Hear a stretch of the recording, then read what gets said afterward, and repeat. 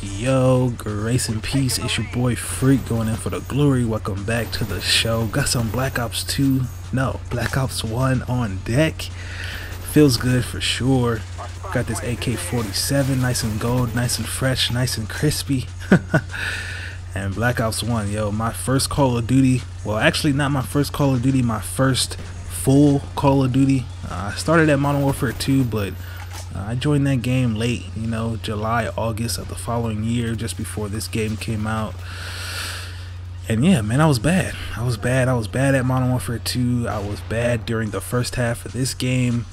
And it was a bit of an adjustment, you know, I'll tell you that right now. Going backwards, not only was I dealing with retro graphics, because I'm going back from the one, you know what I'm saying, going from the one to the 360, you do notice uh, a graphical difference.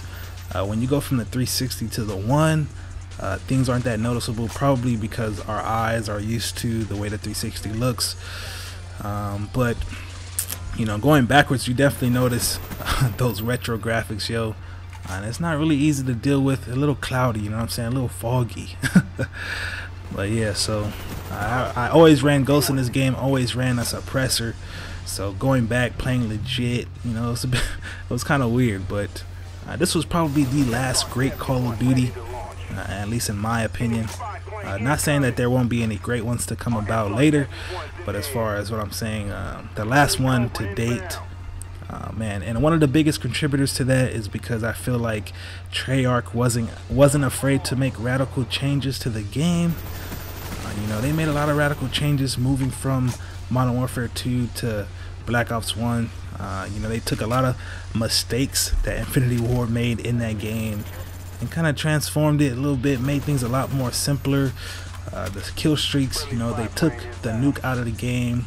You know, you had this 25 kill streak, game ending kill streak, and then they topped off things with the 11 kill dogs, which I pick up right there, nice and fresh.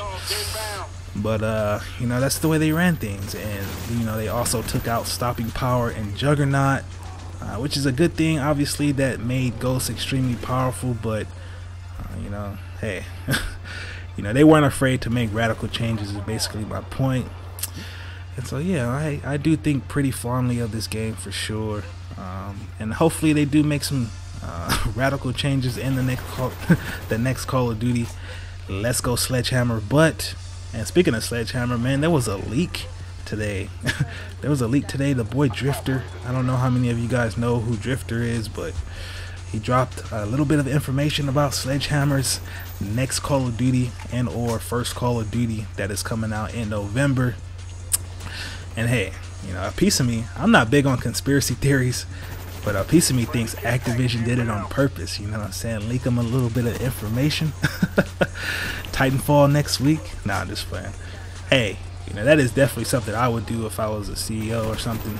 I wouldn't try to fake it behind a leak but I would talk about my new game.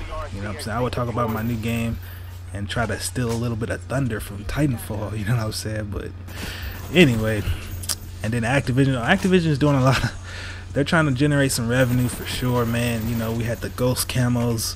What last week? Got the Black Ops 2 camos coming out tomorrow.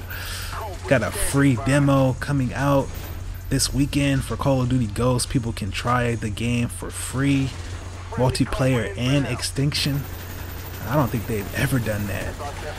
So hey, that gotta tell you something. You know what I'm saying? Radical changes are necessary at this point. But hey, you know it is what it is. Is it is is it too little too late? Who knows? I definitely want to thank you guys for all the support on my last video. You guys, uh, you know, responded very positively to my ideas, especially the streak meter. Oh, man, Hashtag streak meter, man. Let's go.